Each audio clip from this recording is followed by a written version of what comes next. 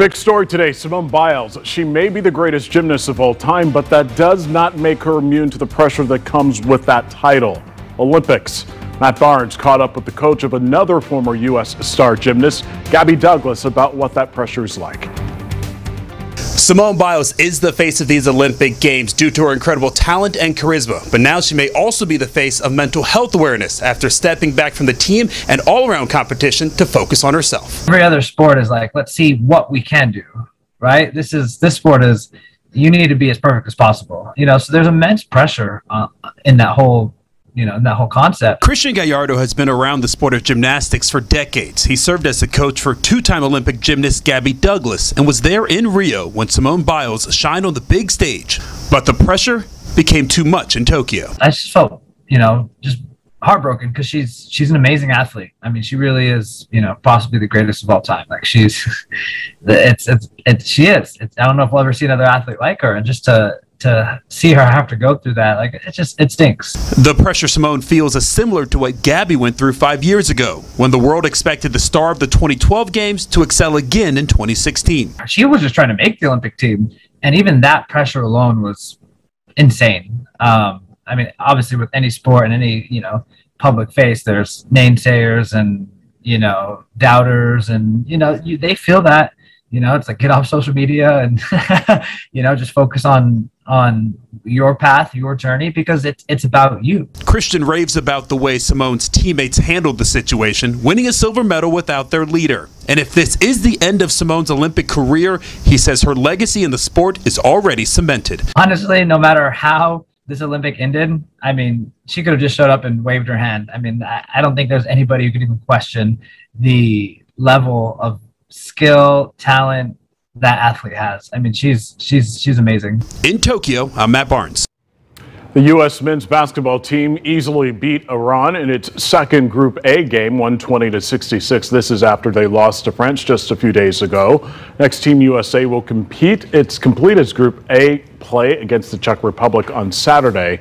A win over the Czech Republic would send the Team USA through the eight-team knockout stage of the tournament. Trying to see what was on that cart behind your head. All right, and it was a rough start for U.S. swimmer Katie Ledecky for the first time in her Olympic career. She did not finish in the top two for the 200 meter, meter freestyle. She didn't even medal. She came in fifth. But just over an hour later, she dove right back in, dominating the 1500 meter freestyle. She secured her sixth career gold medal. Team USA's Erica Sullivan came in second. And in the women's 200 meter individual medley, it's the first time the U.S. has won two medals in that race. Alex, uh, Alex Walsh took the silver and Kate Douglas was right behind for bronze. Marilena Belarose has a recap now from Tokyo. Team USA is taking home silver and bronze in the women's 200 meter individual medley with UVA teammates Alex Walsh and Kate Douglas on the podium. This is the first time the U.S. has won two medals in this race, which features 50 meters of each stroke.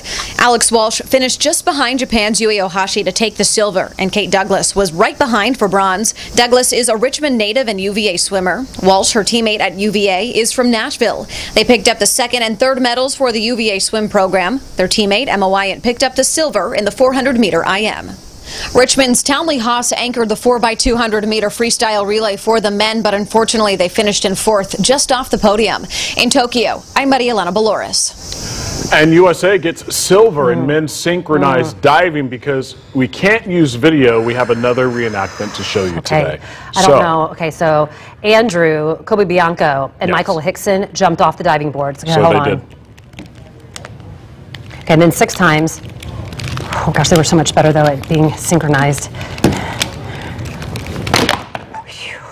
Spun six and landed times. in the water at the same and time. And then they landed in the water at the same time. Okay. Silver. Silver. They, that was impressive. Yeah, very impressive. That our inter- Let's do it again. Show them exactly because you might not have gotten it. So here, here, here they were. Just pay close attention.